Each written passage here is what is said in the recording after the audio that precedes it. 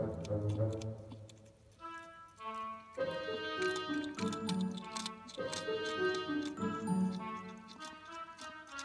you.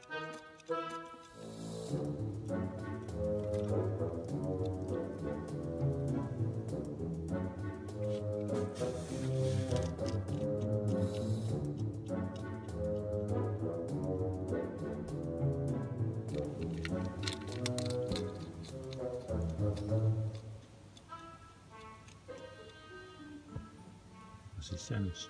I think so.